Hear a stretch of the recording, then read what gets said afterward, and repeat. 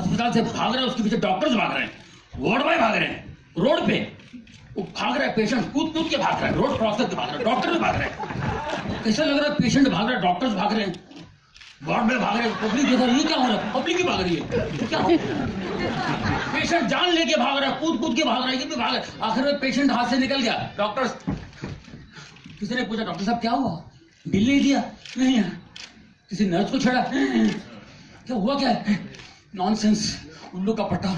ये चौथी बार किया। दिस इज़ फोर्थ टाइम तो सर क्या हुआ सर? हुआ क्या? साला ब्रेन का ऑपरेशन करने आता है बाल कटवा के भागता है। इसलिए मैंने सोचा कि आपको मैं बुला रहा हूँ थोड़ा मुझे क्या कैसे परेशान करना चाह रहे हैं आप? नहीं मैं ये ना करेंगे। मैं तो सीधा आदमी हूँ। जनी भाई इतनी सीरीज़ आ गई और चौथा पार्ट ही है। गोलमाल अगेन नाम है। कैसा एक्सपीरियंस रहा ओवरऑल ये? इतने सफ़र इतने रोहित शेट्टी साहब ने आपको प्रश्न किया? नॉर्मली कोई पूछता है ऐसे। वो तो कमाल था, बहुत अच्छा था। मैं बताऊँ कि, वाकई कमाल था। बहुत ही एंजॉय किया मैंने और इतना मज़ा आया मुझे, दिल से कह रहा हूँ। मैंने गोलमाल थ्री में बहुत एंजॉय किया था, लेकिन गोलमाल फोर में इससे ज़्यादा एंजॉय किया। सबने बहुत अच्छा काम किया। सबका अच्छा काम है, रोहित शेट्टी का जवाब नहीं है। और हमारे साजिद फरा साहब, इनकी राइटिंग और इनका जो भी है बढ़िया आप इंजॉय करेंगे।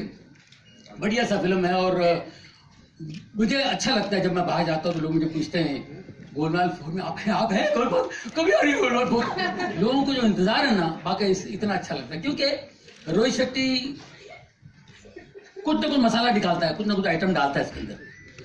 कहीं गाड़ियाँ उड़ा रहा है कि क्या उड़ा रहा है? इस फ़िल्म में हम लोगों को जो उड़ाया उन्होंने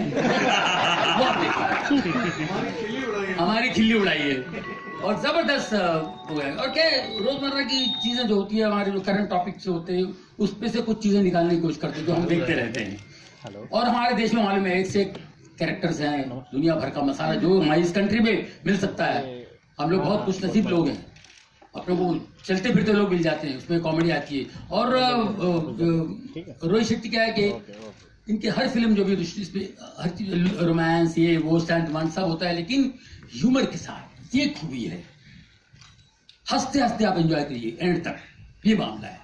For more Bollywood news subscribe now to YouTube dot com slash biscuit TV